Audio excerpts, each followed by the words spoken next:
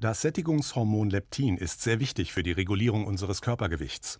Es wird in den Fettzellen, insbesondere im Viszeralfett, das die Organe in der Bauchhöhle umhüllt, produziert. Sind die Fettzellen gut gefüllt, senden sie Leptin aus und signalisieren so, Sättigung ist erreicht. Dabei gelangt Leptin durch die Blut-Hirn-Schranke zum Hypothalamus.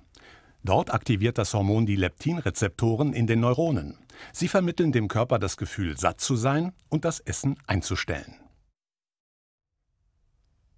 Bei krankhaft übergewichtigen Menschen funktioniert diese Regulation nicht mehr. Sie haben zwar sehr viel Leptin im Blut, weil sie auch viel Fettgewebe haben. Das Sättigungszentrum im Gehirn gibt aber keine Signale mehr weiter, um die Nahrungsaufnahme zu reduzieren. Man spricht von einer Leptinresistenz. Die Betroffenen haben ständig Hunger, obwohl ihre Fettspeicher schon gefüllt sind.